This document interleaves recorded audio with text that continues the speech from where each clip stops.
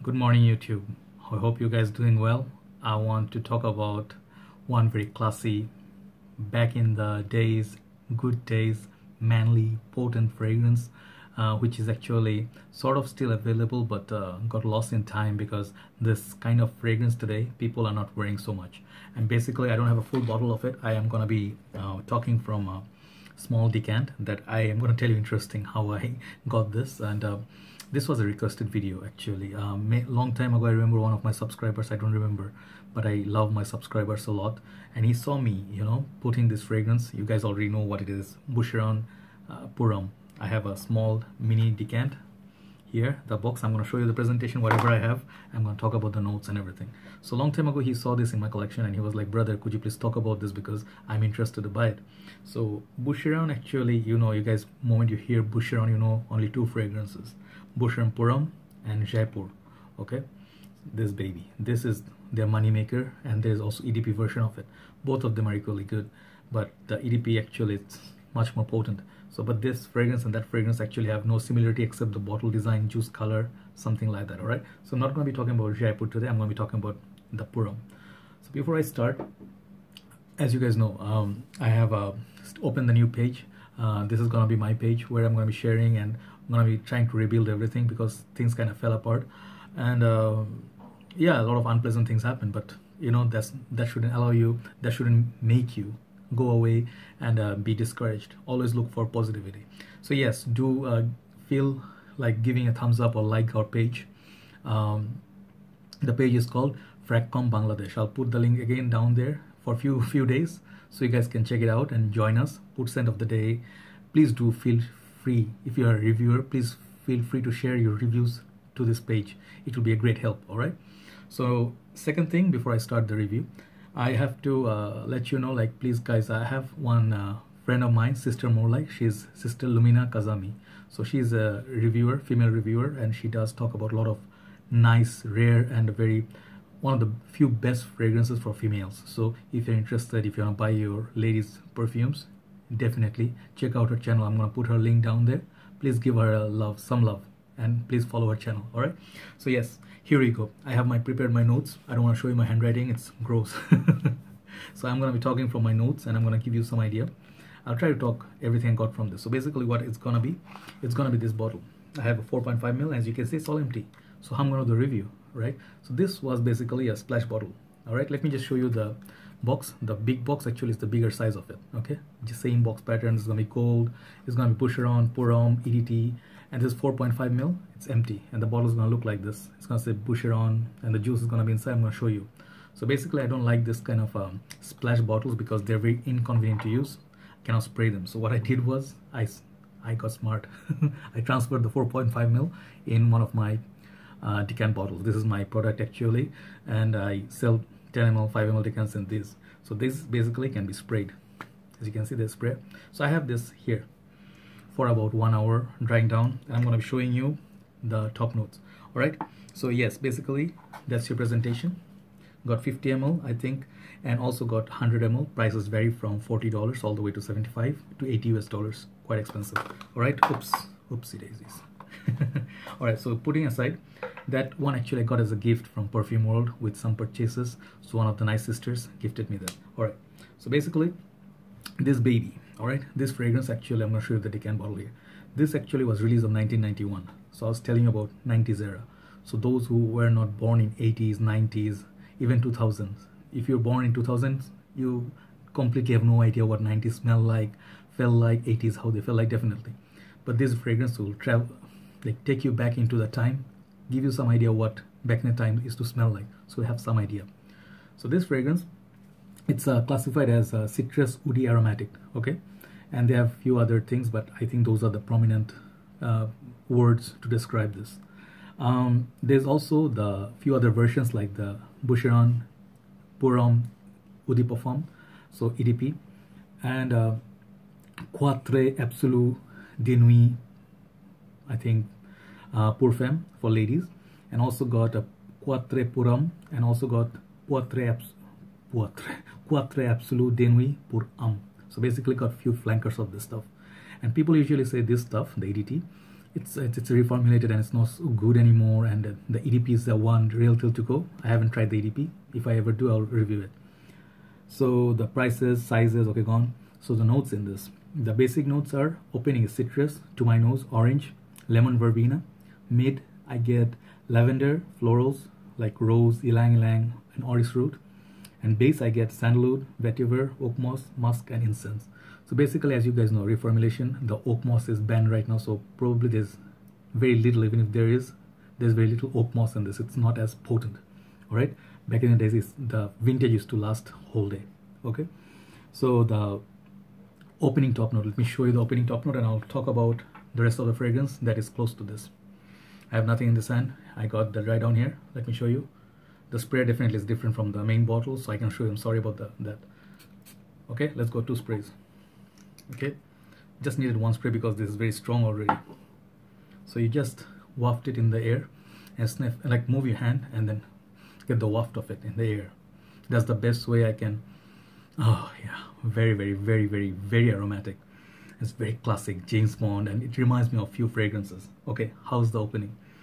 I don't I, I want to tell you it smells like lemon verbena that you get a little bit from Green Irish Tweed not so much but it's it is very fresh uh, spicy lemon. And it reminds me of two fragrances in the opening actually three. Let me show you the feel of it. It's not exactly same but same kind. It's spicy lemon.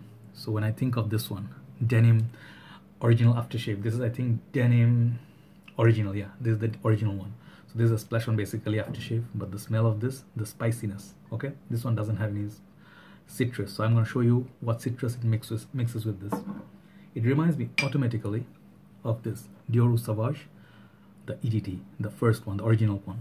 The opening of this has rosemary and lemon. So there's not much rosemary in this one. No, I don't think so. It's just a lemon that borrowed. If you can think of this lemon, somewhere there.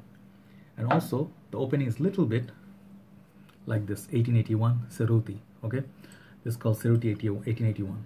This fragrance, this stuff and that stuff is pretty. This stuff, the Boucheron uh, Pour-Homme and this one on the dry down, very very close. So if you know this one, you already have some idea what this is to be like. And I have a couple of more other fragrances I'll show you in time. And also the opening reminds me of Armani's Eau Pour Homme E-A-U Homme. It's also in the back in the time, that kind of citrusy opening. Very manly, summery, fresh, uplifting sort of a old school classic. Gonna be like sort of powerhouse barbershop, somewhere there in the middle. And opening is very spicy, lemon. So you get the picture. But unfortunately, this best part of this fragrance to my nose is the citrus, which goes away very quickly. Moment you spray it, you'll be like, I wish, I wish even it stayed like that for two hours. Unfortunately, it will go away in five minutes to 10 minutes. And then what you're gonna be remained with, it's gonna be these. Lavender, prominent sandalwood. There is non-smoky incense to my nose, woody notes, apart from sandalwood, some woody notes, some florals. There's few florals in this. It, it makes it sort of like people usually say this is this stuff is mostly a summer fragrance but i i somehow don't see it. I think it's it's to be doing a little bit better with the cooler weather. Same with 1881 Cerruti this stuff i wear a lot okay? This is a gem of a fragrance but after reformulation people say it's weak. I don't think so. This stuff lasts. But not everybody's going to be big fan because this fragrance both of them are kind of mature. Now let me show you two other fragrances. I said they're gonna be kind of same type but not so much. One is Givenchy's Gentleman other one is Safari from Ralph Lauren. I haven't reviewed this. I'll have I'm yet to talk about this. This is another gem okay? So those fragrances the woody aspect not the leather the woody aspect of these two yes you can get in this so basically you have the framework you already have the idea what this is gonna be like citrus lavender sandalwood these are the main three players in this fragrance it reminds you of totally 90s era. You can see it's, it's a very classy, mature, sophisticated scent. Men, real men back in the days used to smell like this, okay? And I really love the smell of this. It's very nice, but I feel, you know, the today's world, it's a little bit dated. Why? It's still available. It's in the market. You can purchase it. Um, sometimes you can get it discounted, sometimes like $40 or whatever. But definitely try before buy this. This is very difficult to pull off with the teenagers and sort of like Savage Bleu de Chanel trend going on. This uh, it will be totally like somewhere else, like different different zone of the world. Okay, it's it's sort of like it takes maturity to pull this off it's very formal and uh, summer days you can wear it as a signature scent no problem. Ladies sometimes love wearing this. I notice in fragrantica but i think uh, longevity in the summer takes a hit. I'll give this 7 out of 10 longevity. It doesn't last as much as you ex expect it to be. It will give you that first very strong you'll think like it's going to be a powerhouse. No it doesn't. To me, on me at least i get 7 out of 10 that sort of performance better than average. Longevity and projection same 7 out of 10 sometimes 6.5 after a while after one to two hours it comes close to your skin. The smell of it i'll give this like um, the opening. If it stayed longer i would give it like 8.5 but for what it is like i like cerruti okay but i'll give this like 7 out of 10 so you can see the pattern is going certain direction. And um, like if it's a masterpiece or a must buy i would not say this is a must buy it's definitely more people who say pass. Why? Because that opening will wow them and the dry down may disappoint a lot of people because it's not much playful it's not much fresh not much sweetness it's very old school. It semi barbershop woody chypre that kind of fragrance. But very unique. If you like spicy masculine if you like this kind of stuff this the denim spicy one have you seen your father be wearing it?